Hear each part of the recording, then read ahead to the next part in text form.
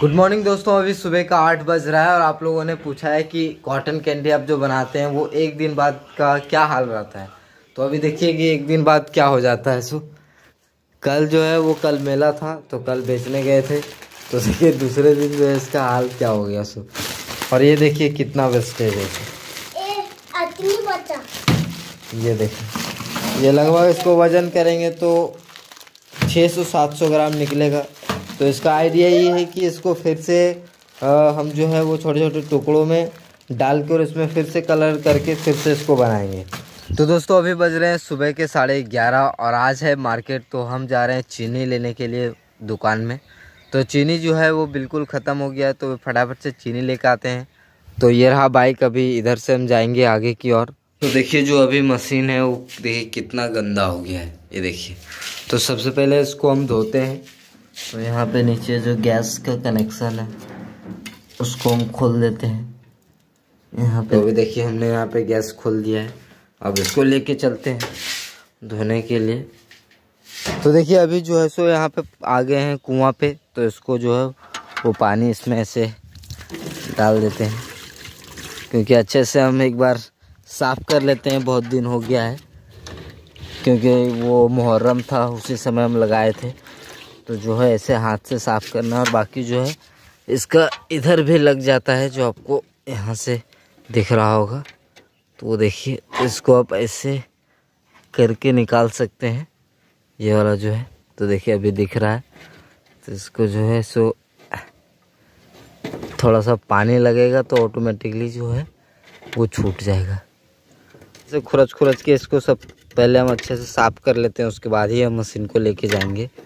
देखिए, बहुत ही आराम से साफ़ हो जाएगा ये। ये देखिए, ये इतना जो चीनी है, ये वेस्ट हो जाएगा, ये को काम का नहीं है। और बहुत सारा जो वेस्ट चीनी है, वो हम दिखाएँगे, उसका आज क्या करेंगे तो इसका जो है, वो कोई काम का नहीं है, इसको इधर से फेंक देते हैं। जो है सो ये देखिए, पूरा साफ़ कर दिए हैं यहाँ पे। ये देखिए, जो है, वो पूरा क्लीन हो गया इसमें थोड़ा बहुत चीनी है तो उससे बन जाएगा। तो अब लेके चलते हैं अंदर और ये सूख भी गया है। तो चलिए उठाते हैं और अब बनाते हैं। दोस्तों हमने जो है अभी सारा तैयारी कर लिए हैं। मशीन भी हमने सेट कर दिया है और हमने जो है वो चीनी खरीद के लेके आ गया है और इतना सारा जो है वो वेस्टेज चीनी है। तो इसका भी देखेंगे कि इसका क्या कर सकते हैं। इसमें जो और कलर मिक्सअप करके इसको अच्छे से पहले जो है वो आ, इसको करना होगा चीनी बनाना होगा फिर से क्योंकि ये जो है वो पूरी तरह से देखिए सूख गया है। तो इसको छोटा छोटा टुकड़ा करके इसमें फिर से जो है वो कलर मेल्ट करके हम इसका बनाएँगे। फ़िलहाल फ़ूड कलर है जो रेड कलर का है। अगर पिंक होता तो और बेहतर होता है लेकिन जो इससे रिज़ल्ट निकलता है वो पिंक की तरह ही लगता है देखने में। तो यही वाला जो कलर है हम इसमें थोड़ा सा मिला देते हैं। आप लोकल मार्केट से कोई भी कलर लेके आप आ सकते हैं। और आप जितना चीनी है उसके अनुसार आप इसमें डालेंगे। और क्या करेंगे इसको आपको हाथों से जो है आपको अच्छे से मिलाना है।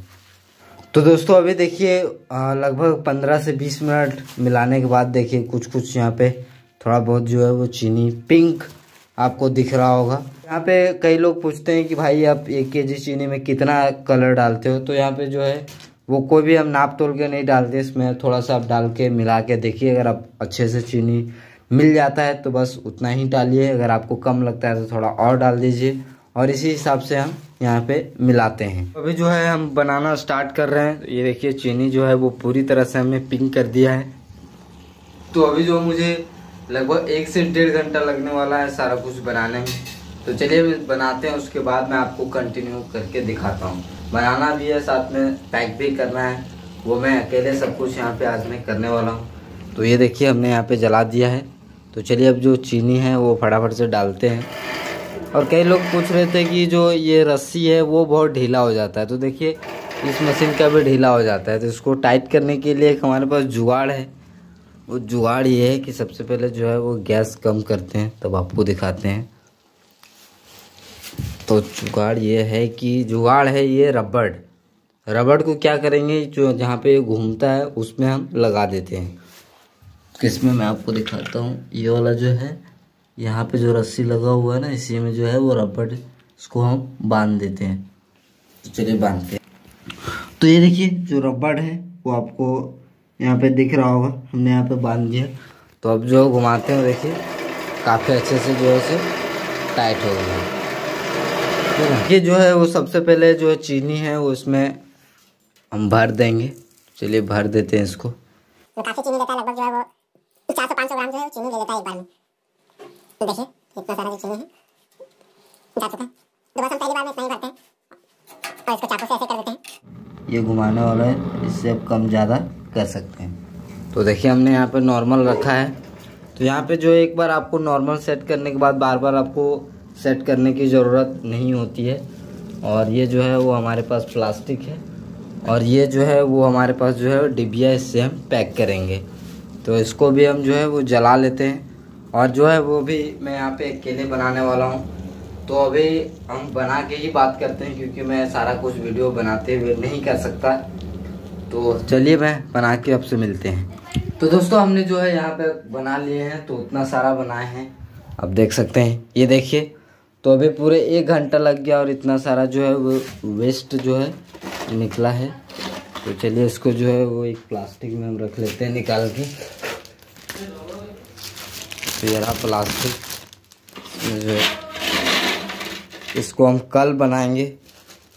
ये अच्छा से सूख जाएगा तो फिर से ये चीनी बन जाएगा। इसको फिर से हम फोड़ फोड़ के, फिर से कलर मिक्स करके इसमें जो है सो बना देंगे। तो अच्छे से हम इसको सफ़ा कर लेते हैं। और दोस्तों, इसमें जो है वो एक समस्या हो गया कि इधर जो है बर्नर जो इसका है, ये वाला, वो थोड़ा सा अलग साइड में जलना शुरू हो गया। तो इस मशीन के साथ जो है वो समस्या लगा रहता है। तो उसको भी अभी ठीक करेंगे। पहले थोड़ा सा ठंडा होने दीजिए। कि देखिए, हम जो है एक के जी चीनी लेके आए थे। इतना चीनी भी बचा हुआ है, इतना बना है और इतना जो है वो वेस्ट इसका निकला हुआ है। तो ये देखिए, जो है हमने जो अच्छे से इसको क्लीन कर दिया है। अब देखिए, थोड़ा बहुत तो रह ही जाएगा और इतना जो वेस्ट निकला है और यानी कि इतना जो है जला हुआ माल निकला है और इतना चीनी बचा हुआ है और इतना बना हुआ है। तो अब लानते हैं कि वज़न करने वाला जो वेट है, वो हम देख लेते हैं। तो दोस्तों, ये रहा वेट करने की मशीन जिसको हम यहाँ पे यो ज़ीरो ज़ीरो कर लेते हैं।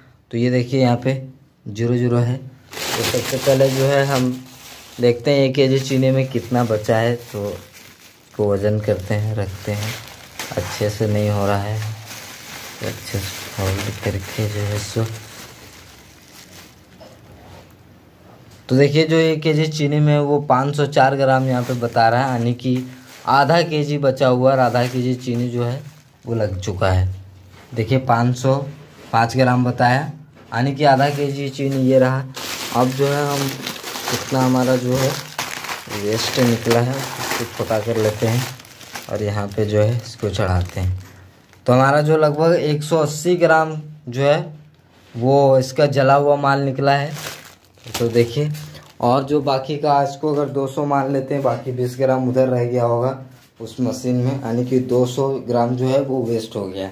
तो 300 ग्राम जो चीनी यूज़ हुआ है, इसको बनने में, अब इसको जो है, गिनते हैं कि कितना पीस है। पाँच रुपये वाला, दस रुपये वाला दोनों गिनेंगे तो ये जो छोटा वाला है वो पाँच रुपये वाला पीस है और जो बड़ा वाला है वो दस रुपये वाला पीस है। तो इसको गिनते हैं पहले।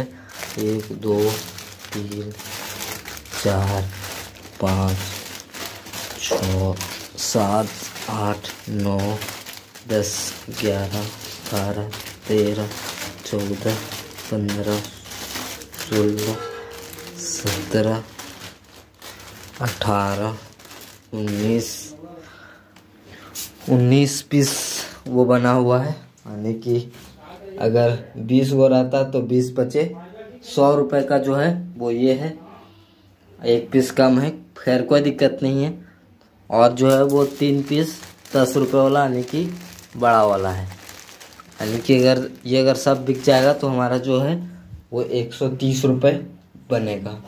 और जो हमारा चीनी गया, वो लगभग आधा के जी बचा है, उसको तो हम फ़िलहाल इसको अगर ठीक होगा तो मानेंगे 200 ग्राम सही है। अदरवाइज़ हम अभी आधा किलो जो चीनी है वो यूज़ हो चुका है। तो आधा किलो जो चीनी का कॉस्ट है, वो है यहाँ पे हमारे यहाँ जो मार्केट है, उसमें जो कॉस्ट है वो चौवालीस रुपये किलो मिलता है। अगर आप थोक में लेते हैं तो बयालीस रुपये किलो मिलता है। तो फ़िलहाल हम चौवालीस रुपये का आधा कर लेते हैं तो जो है वो बाईस रुपये जो है हमारा यूज़ हुआ है। और जो गैस सिलेंडर है तो गैस सिलेंडर लगा है तो सौ, दो सौ ग्राम वो भी जला होगा। तो उस हिसाब से देखें तो बीस, पच्चीस रुपये का तो वो भी है। यानी कि जो है वो चालीस रुपये में जो है, वो हमारा जो कॉटन कैंडी है, वो एक सौ तीस रुपये का तैयार हो जाता है। मेहनत को छोड़ के। आप जो भी मेहनत करेंगे, वो आपके ऊपर है। अगर आप मेहनत कम करेंगे तो कम बना पाएँगे। तो अगर ये सारा कुछ बिक जाता है तो मुझे जो है एक सौ तीस रुपये मेरा बन पाएगा, जिसमें से मेरा जो चालीस रुपये कॉस्ट है। यानी कि लगभग आप देख सकते हैं प्रॉफिट कितना ज़्यादा है। और जो है ये वेस्ट वाला अगर मैं इसको ठीक कर पाता हूँ, अभी मुझे भी कोई आइडिया नहीं है कि ये ठीक होगा या फिर नहीं होगा। तो इसके ऊपर मैं वीडियोस में कल बताऊँगा। आगे आने वाले वीडियोस में आपको पता चल जाएगा, लेकिन मुझे पूरा उम्मीद है कि इसको मैं सही ज़रूर करूँगा।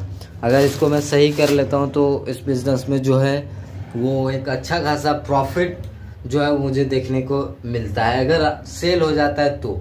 और अगर नहीं बिक और अगर नहीं बिकता है तो तो आपका हो जाएगा नुकसान। तो चलिए फिर खैर कोई दिक्कत नहीं। मैंने आपको पूरा डिटेल में बता दिए कि कितना कुछ यहाँ पे प्रॉफिट होता है क्या होता है। तो अभी हम निकलते हैं मार्केट के लिए सारा सामान लेके।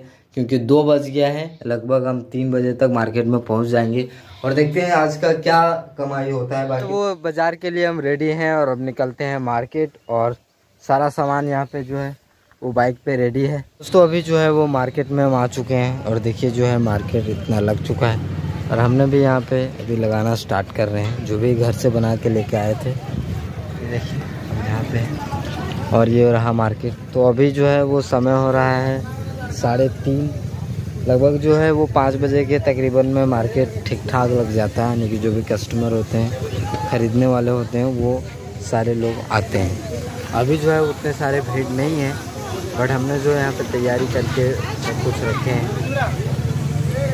तो ये रहा अभी मार्केट, बाकी आपको दिखाते हैं कि आज कितना बिकता है, क्या होता है। तो दोस्तों, अभी जो है वो चार बजने को है। ये देखिए। मार्केट का हाल बोनी हुआ है, बाकी इतना सारा है बाकी बनाना भी स्टार्ट करेंगे। अभी भीड़ है नहीं तो बना के कोई फ़ायदा भी नहीं है। देखिए, चप्पल का बिज़नेस आइसक्रीम वाला है, गुपचुप वाला है, कपड़ा वाला है। तो मार्केट में आपको हर चीज़ मिल जाती है। दोस्तों अभी जो है वो साढ़े चार बजने को है और अभी जो मार्केट का हाल है वो कुछ इस तरह का है। राम राम। राम और जो है हम जो यहाँ पे लगाए हुए हैं तो अभी देखते हैं कि अभी कब तक जो है। तो दोस्तों यहाँ पे जो है हमने लगाए हुए हैं लेकिन पता नहीं अभी जो है वो लगभग पाँच बजने वाला है आधा घंटा बाकी है लेकिन मार्केट आज जो है उतना अच्छा से लगा नहीं है। आज शायद लगता है इतना ही बिकना मुश्किल हो जाएगा मार्केट में। फ़िलहाल हम देखते हैं शाम तक इंतज़ार करते हैं। छः बजे तक बिकता है या फिर नहीं। इंतज़ार करते हैं, इंतज़ार के अलावा और कुछ नहीं कर सकते और जैसे ही बिकता है उसे हम और बनाएँगे। फ़िलहाल तो कुछ अभी इस टाइप का नज़ारा है क्योंकि आप देख सकते हैं। ये वाला, ये दस का पाँच का ये सब है।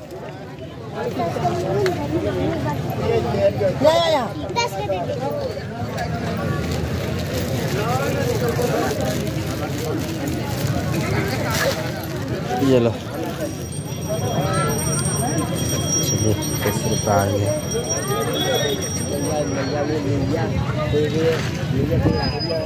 तो दोस्तों अभी जो है वो एक बिका तो ये रहा कुछ थोड़ा कम हुआ। है पुराना ज़माना का हवा मिठा है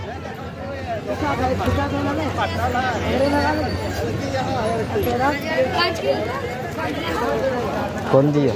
तो अभी हो चुका है, शाम लगभग छः बजने को है और देखिए मार्केट का हाल कुछ इस तरह का है। और मैंने यहाँ पे जितना भी बनाया था, छोटा वाला पैकेट पाँच वाला, वो सब ख़त्म हो गया है। बाकी बड़ा वाला पैकेट है चार पाँच तो वो सब भी यहाँ पे जल्दी से बिक जाए। तो बस निकलते हैं घर के लिए, बाकी ये रहा। तो आप लोगों ने मुझे कमेंट करके पूछा था कि जो पाँच रुपये वाला जो प्लास्टिक होता है और दस रुपये वाला जो प्लास्टिक होता है, वो हम कैसे लाते हैं और कौन कौन सा प्लास्टिक होता है? तो अगली वीडियोज़ में मैं वो भी कवर करने वाला हूँ। फ़िलहाल मैं इस वीडियो में आपको नहीं दिखा पाऊँगा, क्योंकि अभी जो है वो हमारे पास जितने भी छोटे वाले प्लास्टिक थे, वो सब ख़त्म हो चुका है। और जो है पाँच रुपये दस रुपये पाँच रुपये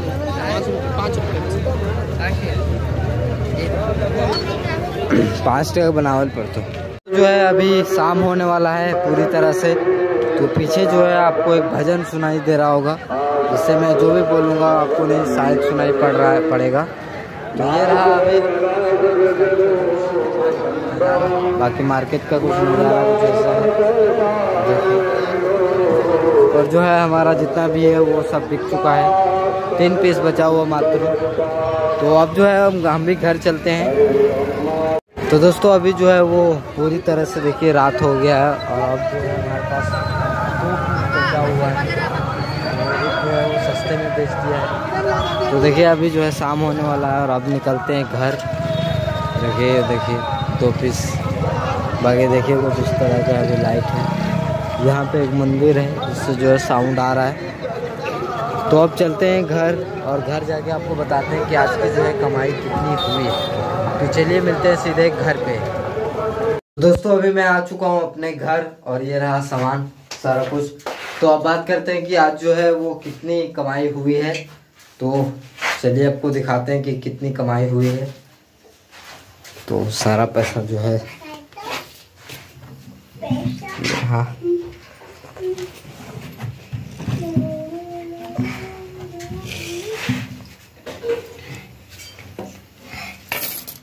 तो दोस्तों, जो आज का जो कमाई है, वो कुछ ये रहा। टमाटर और करेली सब्ज़ी लेके आए थे, यानी कि पैंतीस रुपये उधर। बाकी की ये जो है, वो काउंट कर लेते हैं। तो बीस बीस, चालीस। तो कि पाँच नोट है, एक, दो, तीन, चार, पाँच। सौ रुपये ये है। साथ में साथ ये गिनते हैं। बीस, तीस, चालीस, पचास साठ, सत्तर, और ये भी दस रुपये है। तो हो गया अस्सी। अस्सी और पैंतीस रुपए का जो है वो सब्ज़ी खरीदे थे, टमाटर और करेली, की दो सौ पंद्रह रुपये की आज कमाई हुई है। तो तो आज का जो कमाई रहा है, वो दो सौ रुपये आप मान के चल सकते हैं। और बाकी का जो सारा चीनी, एक के जी चीनी जो है, वो ख़त्म हो चुका है। तो उसका वेस्टेज जो है, वो बहुत सारा बचा हुआ है। तो कल हम क्या करेंगे कि उस वेस्टेज को सही करेंगे और उसका वीडियो आपको देखने को मिल जाएगा। दोस्तों, आज के लिए बस इतना ही। मिलते हैं अगले वीडियो में। तब तक जय हिंद।